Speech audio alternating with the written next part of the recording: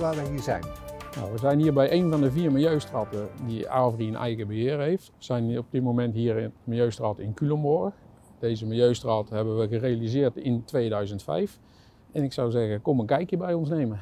Uh, Jan, je komt hier door het hek en uh, daar is een kantoor van uh, bijvoorbeeld toezichthouders. en wat gebeurt er dan? Die melden er eigenlijk bij het loket, zoals we dat noemen. Er staat ook op bord hier, melden bij de beheerder. daar wordt aan de mens gevraagd wat ze bij zich hebben. Wordt gekeken of ze afvalstromen bij zich hebben die eventueel betaald moeten worden. En er wordt een uitgelegd waar ze kunnen lossen. Oké, en bij dat bord stopt iedereen meteen of ze rijden meteen door? Niet allemaal, uh, maar de meeste gelukkig wel. De allereerste container die wij tegenkomen, ja. afgiftepunt, waar, ja. ik het, waar ik het namelijk gewoon afgiftepunt noemen, is het aanbieden van klein chemisch afval. Ja.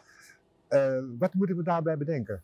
Nou, uh, iedereen heeft ze bijvoorbeeld wel in huis, hè? batterijen, maar ook verf, olie, medicijnen, injectienaalden best wel een heel groot palet. Merendeel moet ik zeggen bestaat uit verf. Dit materiaal wordt zeg maar hier een week lang opgeslagen. Dan wordt het opgehaald door een van onze eigen mensen. En dan wordt het gebracht naar ons centrale depot in Geldermalsen. Daar wordt het gebulkt. En daar komt één keer in de week de firma van Ganzenwinkel zeg maar, het chemisch afval bij ons weer weghalen. Elektrische apparaten. Nou, elektrische apparaten die uh, worden zeg maar uh, netjes verzameld hier in deze containers. Dus eigenlijk alles waar een, uh, een stekker aan zit, zeg maar. Mm -hmm. Dat wordt ingezameld door WEE. En dat is op zich wel leuk, want daar werken heel veel mensen ook met zeg maar, een, achterstand op de arbeidsmarkt. En die, ja, die halen bijvoorbeeld, bijvoorbeeld koelkasten, daar wordt de motor uitgehaald, daar wordt het gas van afgezogen. Mm. En ja, dan kun je het metaal weer gebruiken natuurlijk. En, beeldbuizen worden apart gehouden. En hoe lang duurt het nou voordat deze vol zit? Ongeveer zo'n, uh, denk ik, zo'n twee containers in, in, toch wel in anderhalf, twee weken vol. Gigantisch. Ja, dat is gigantisch veel. En dat realiseert niet altijd iedereen zich. Maar we zijn met meer dan 200.000 inwoners in Nederland. Hiernaast hebben we de kringloop uh, container, om het zo weer even te noemen. Deze kringloopcontainer die wordt elke dag gelegd. Uh, als u nou op een zaterdag uh, aan het eind van de dag hier komt, staat die echt vol. Nou, hier gaan dus de herbruikbare spulletjes weer in. Die gaan naar kringloop Secunda in, uh, in Tiel. daar wordt alles weer netjes gesorteerd, gekeken of er iets kapot is, ja of nee. Textiel. Wat, uh, wat, moet ik me daarbij voorstellen? Dat is het, uh, ook schoenen zie ik? Ja, nogmaals, textiel, uh, schoenen, maar ook lakens, ook lappen, gordijnen, knuffeldieren, dat mag er allemaal in. Wat heel belangrijk is hierin, dat er geen andere afvalstoffen in zitten, dat het, zeg maar, het goed wat erin zit vervuilt. Dit gaat naar de firma Richia. Ook daar wordt het weer allemaal netjes uitgesorteerd, in wintergoed, in zomergoed. En vervolgens wordt zeg maar, het rest wat niet herbruikbaar is, de lappen, de gordijnen, die worden weer gemaakt tot vezels, zodat ze daar weer poetsdoeken van kunnen maken. De container met banden, autobanden. Nou, deze banden die gaan naar uh, Kranenburg in As. Dus dat is eigenlijk hier uh, vlakbij. Dat is een bedrijf die sorteert ze weer uit op kwaliteit. kwaliteit goed is, worden die nog in andere landen uh, weer gebruikt, zeg maar, om gewoon mee te rijden.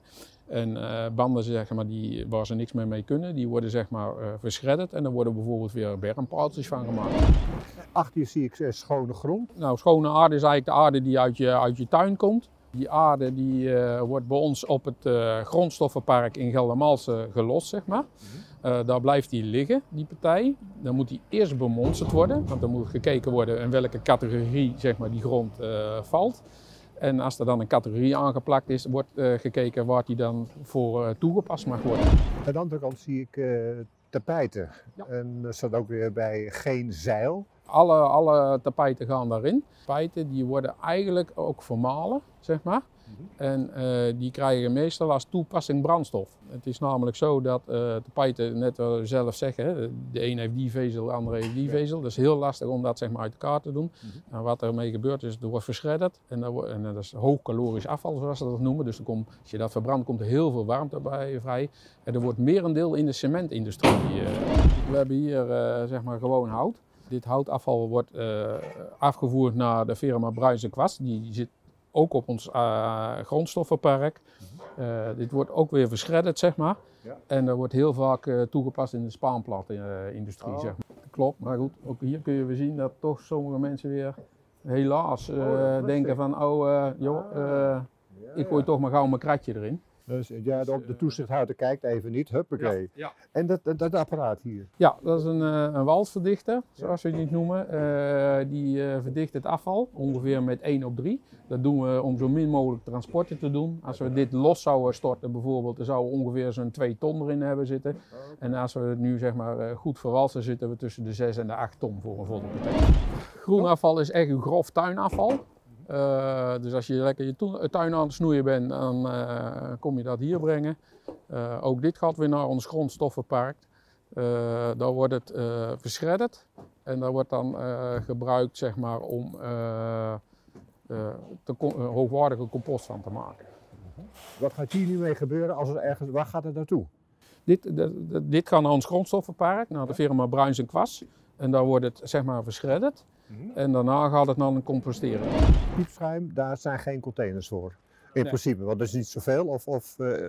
piepschuim is natuurlijk heel licht. Dat moeten we aanleveren in, de, in deze zakken, zeg maar, speciale zakken. Uh, deze zakken die worden ook weer zeg maar, afgetransporteerd naar onze overslag in, in Geldermalsen. Daar worden door, daar worden door een firma opgehaald. En uh, dit wordt weer verschredderd en dan maken ze zeg maar weer nieuwe platen van die je bijvoorbeeld in de bouw gebruikt als isolatie voor je vloer. Wat je uh, restafval, nou de container is net gewisseld, dus we kunnen niet naar binnen kijken. Maar wat houdt restafval? Nou, restafval is eigenlijk het afval wat je normaal thuis in je eigen kliko doet.